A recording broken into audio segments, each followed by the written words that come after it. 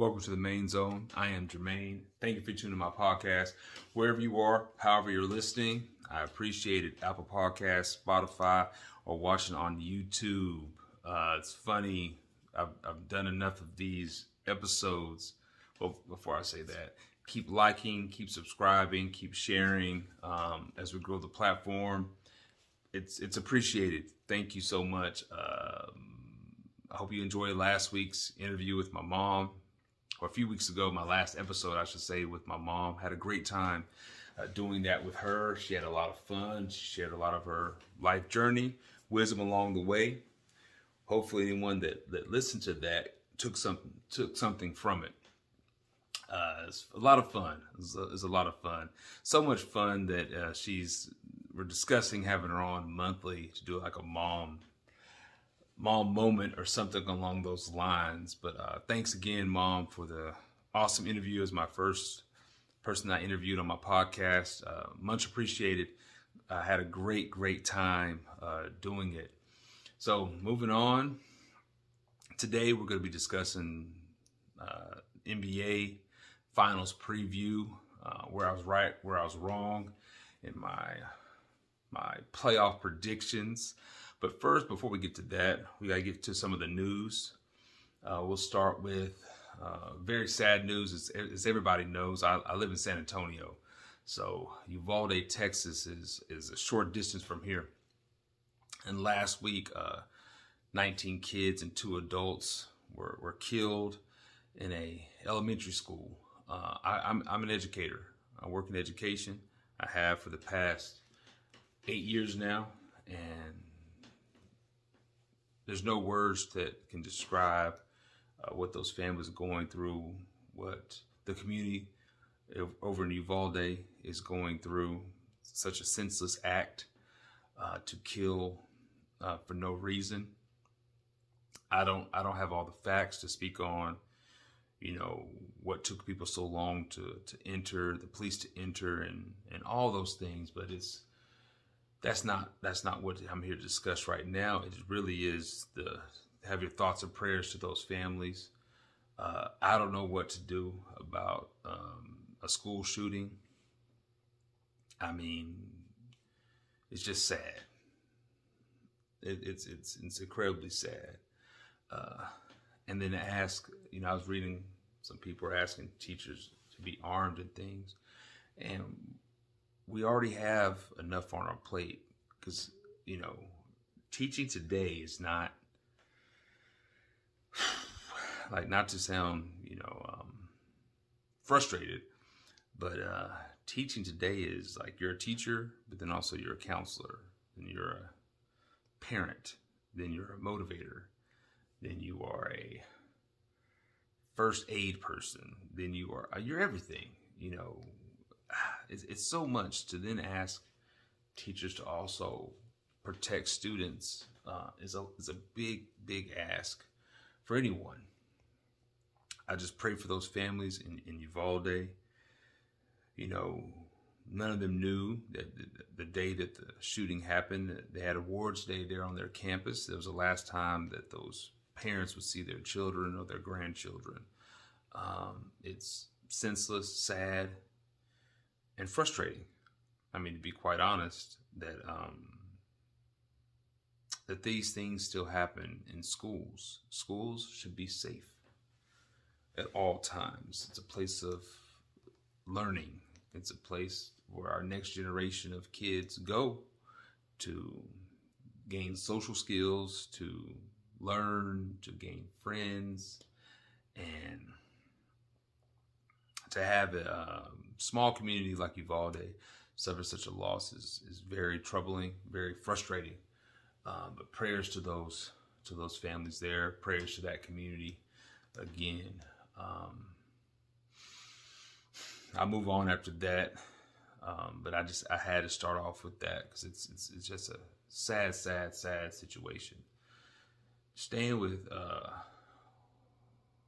well, before I move on to another part of education and, and other, other other news, um, I think that's I think if you know the backstory of Steve Kerr, when his um, during his pregame or his post game interview um, last week when the Warriors are playing the Mavs. His frustration and passion and plea um, for lawmakers or decision makers to, to make changes in gun policy stems from his own history. Uh, for those that don't know, his father was a uh, university professor. He was gunned down in Beirut, Beirut, Beirut, and when he was 18 years old, his father was shot in the head twice in the back of the head. Uh, so for him, I think it was a, a moment that triggered him that, you know, again, because his father was innocent, you know, and just people came into the school and shot him in the head, and, and that was it. And he was a 18 um, year old college student at the University of Arizona. So I think his plea, when if you if, if any of you all saw that interview, was from a space of of, of frustration of, of violence, of gun violence, because it's happened to him. And then he sees, you know, four and a half, five hours away in a small town in Texas, that, that 19 young people and two adults were were killed. And then the very sad news of one of the teachers that was killed. Her husband, a few days later, had a heart attack and passed away. And they had four children. Like, man, just again, I don't want to stay on this, you know, but it's true. I mean, it's it's sad. Prayers for all those families. Thank you, Steve Kerr, for using your platform uh, to voice your your opinion. That's what we're all entitled to. So thank you, Steve Kerr, for that. More sad news, though, coming in, and this time in the world of sports. If you know um, Cowboy fans, Marion Barber uh, passed away He's only 38 years old. If y'all remember him, he played, you know, back 06, 07, around there for the Cowboys as a bruising running back, Marion the Barbarian. Um, I was a fan. I was a fan. Um, but sad to hear that he passed. Prayers for him, prayers for his family. More positive note, sticking with school though, is uh, all the high school graduates that are graduating soon or you know this week in America special congrats to my students. This is my second graduating class um, at, the, at, the, at, the, school that I work at. I'm proud of you all. I would call you all by name, but I don't think that's something that any of y'all want to hear, or most of y'all don't even watch or listen to my podcast. Those that do, though, um, congrats on graduating. Proud of you. Keep pushing forward as I've always I've tried to be an example to you all of grit, perseverance, and being tough. And hopefully, some of the things I've told you over the years resonate. And when you have those dark times in your life, which we all do, uh, you will you will remember them and push forward. Uh, proud of this group. Wish you all nothing but success. Uh, and I, I always say, don't let high school be the best time of your life if high school is the best time of your life, your life's not that good. Not to be mean, not to be mean, but high school shouldn't be the highlight of our lives at all. There's so much more out there, so much more going on, so much more to be thankful for.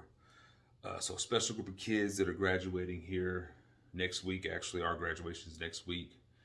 Um, I got to know them really well this year. Lots of them I've been with since the since they were in the sixth grade. Uh, so I've grown and learned and, you know, hopefully, you know, been someone that they can look up to. I will apologize if I've ever hurt anyone's feelings. I'm sorry. I had a group of girls tell me the other day, we were discussing like the last two days of school. They were saying I got, I was a lot meaner back in the day. So for that, I'm sorry. Um, and I don't think I was mean. I think I I, I was probably mean, I should say that, but I think I've grown. And so that's why it comes across as if I'm no longer uh, mean. But congrats, class of 2022. Uh, congrats, all graduates of 2022. Keep moving forward. Uh, you're the next group to come through. You know, work on your dreams, write them down, set some goals, and, and knock them out.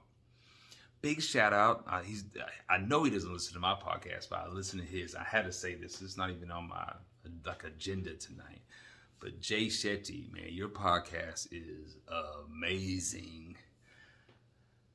It's you know your podcast is good when instead of scrolling through to find a subject that you want to listen to or, or, find someone that you want to listen to like like he's interviewing somebody you literally just push play on any of them that are on on his uh, platform and you just listen i mean fantastic content top to bottom words of wisdom great perspective um, the way he interviews people is amazing.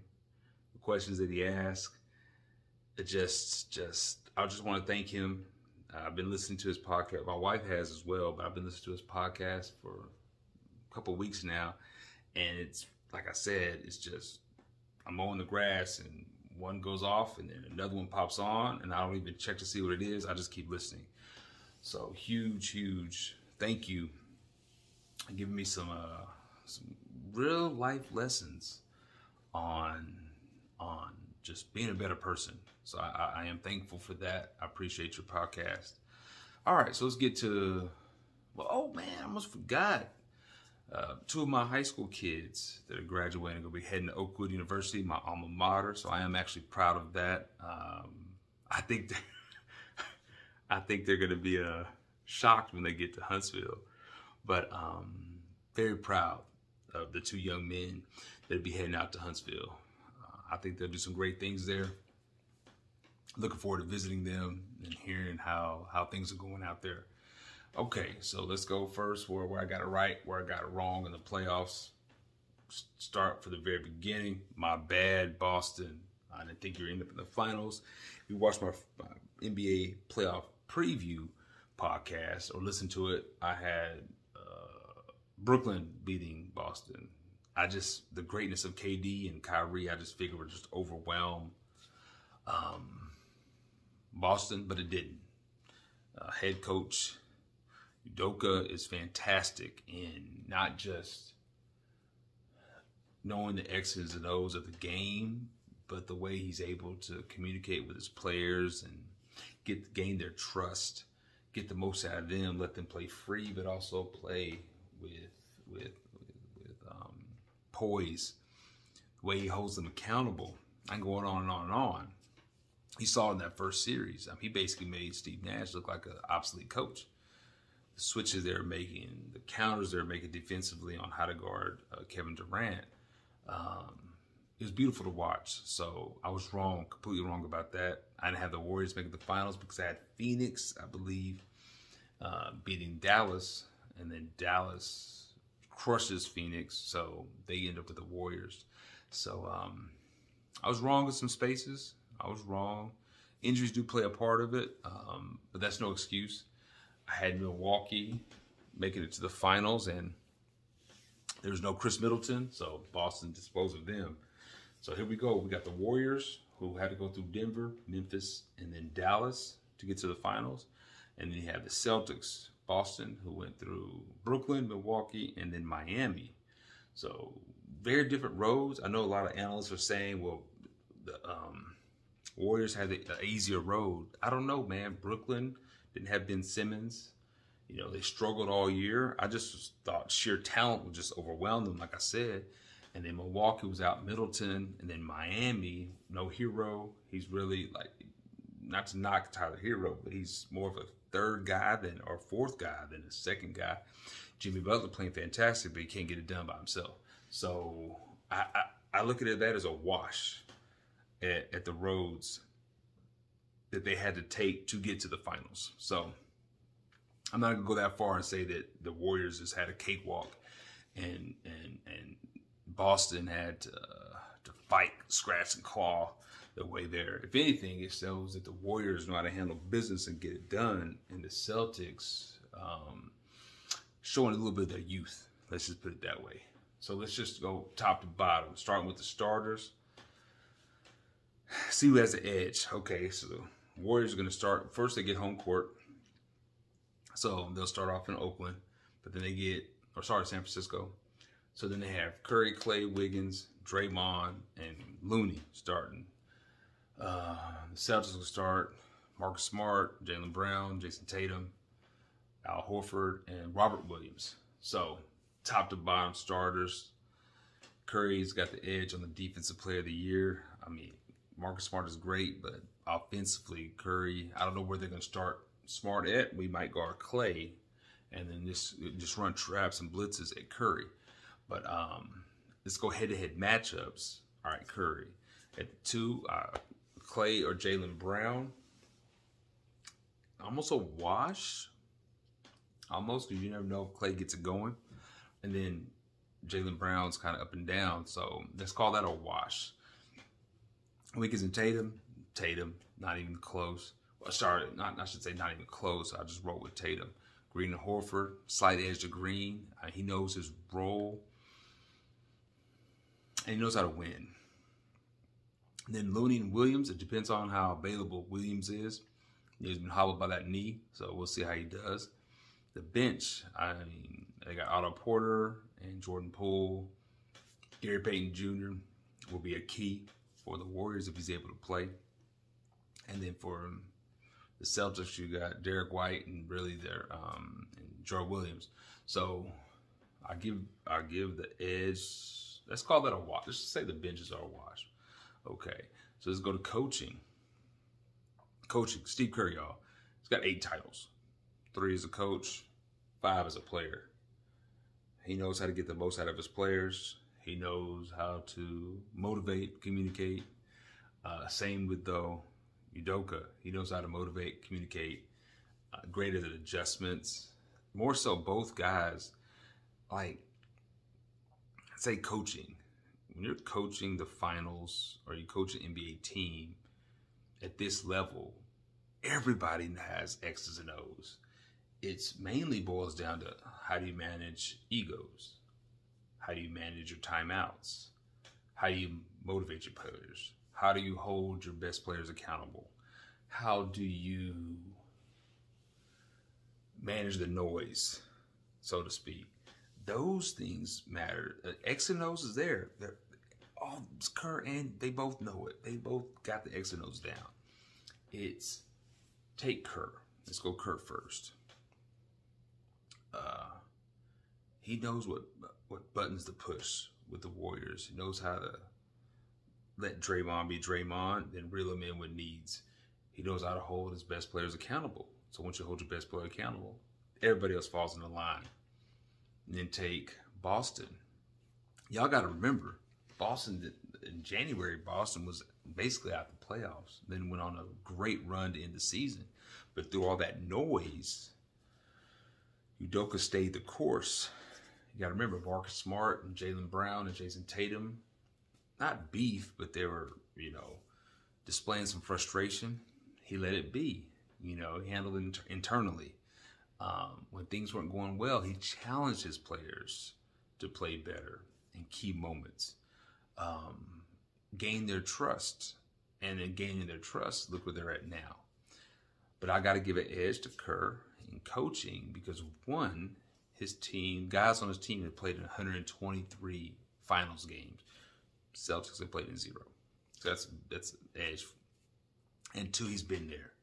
Kerr has been through these moments where uh, everything is amplified. You know, your adrenaline's going through your chest. Uh, I think he he's better suited to calm his players, and those guys are a little bit older, so they calm themselves. So, um, with all that being said, I'm still, I want, I, I'm going to go with Boston. I'm going to go with Boston. I don't think it's going to be five games. I'm going to go Boston in six. But if it goes, if they don't win in six, the Warriors will win in seven. I don't, I, I don't see Boston beating them in game seven at, at, in in San Francisco. But I think they match up well I think the difference is the Celtics have two guys that can get their own shot. So when the Warriors will load up on Luka and let everybody else just do their best, but their best is not like elite, elite. I think if they do the same thing, Brown or Tatum can take them home. I think Tatum's on a mission to prove that he is one of the best players in this game. And I have a feeling that it depends on, I'm not trying to put on the refs, but if the refs let these guys play, then I think it better suits the uh, the Celtics if they let them play. If the refs let them play with a little bit of physicality, I think it suits the uh, the Celtics more. They're great defensively. Uh, I think they could play small. They can go small with the Warriors. They can play Horford at the five, Tatum at the four, uh, Jaylen at the three, or, or, Grant Williams at the three or the four. Uh, so it's not like they can't match up if the Warriors go with their small lineup with Poole, Klay, and um, Curry with Wiggins and Green. It's fine. The um, Celtics can actually match up with that. So I think that matters. So I think it's going to be a very entertaining series. First time these two teams have matched up in the finals since Wilt and Chamberlain battled back in the day. But I think it's going to be a fantastic series for the NBA. If you noticed, um, it will allow, if the Warriors win, you really got to have a conversation about where, where Steph ranks in the uh, list of all-time greats. That'll be four titles, two MVPs. He'll probably be the Finals MVP, even though he should have got one a few years ago. Uh, so, huge opportunity for the Warriors. Huge opportunity for Klay. I mean, think about it mentally. What he had to battle back from. Tears his Achilles, then tears his. No, first tears his ACL, then tears his Achilles. Out two two full seasons, and to make it back to this space. I, I, I remember the interview right after they won the Western Conference Finals, and you could see it in them that the, the the the moment of like, man, I made it. Like, ah, those injuries can derail a career. It can mess with your psyche. But he stayed mentally tough, and he's made it back to the to the finals. And the Warriors are back as if it they didn't skip a beat. Once they got Klay back, things started turning.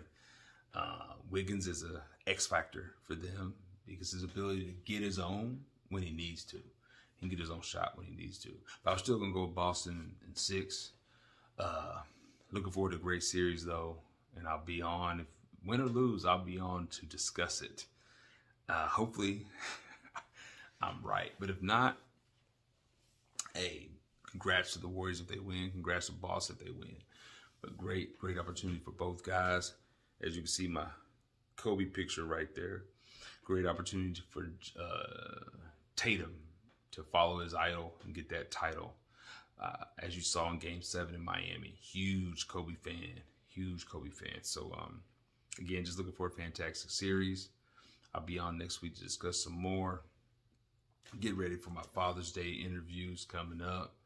As always, like, subscribe, share, comment, post, repost just help me uh, continue to grow this platform. It's been fun so far. Uh, again, thank you all for the have been listening. And as always, be blessed. I'm out.